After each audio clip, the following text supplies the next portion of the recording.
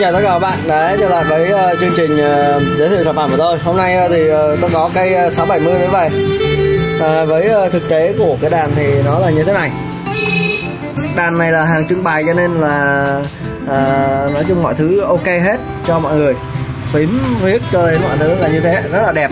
Đấy thì uh, tôi sẽ trim từng cái góc cho anh em thấy đấy.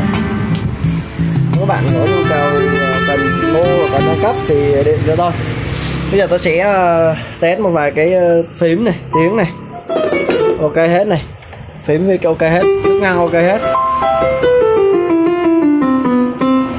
Nói chung là có giấy tờ đàng hoàng nhé có nguyên hộp thùng cho mọi người luôn. Đấy.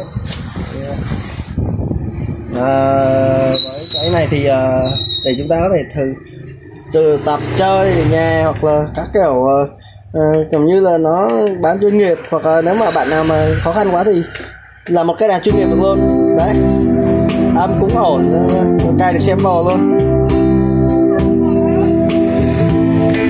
Đây đó. Băng tiếng lưu đây 8 tiếng 8 8 tiếng luôn.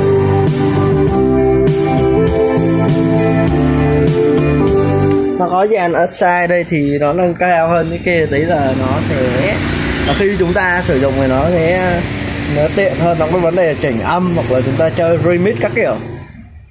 Ok đấy.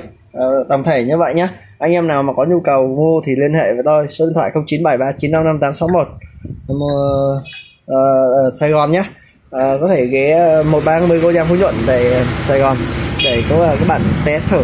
Ok không? Xin chào và hẹn gặp lại các bạn ở video khác.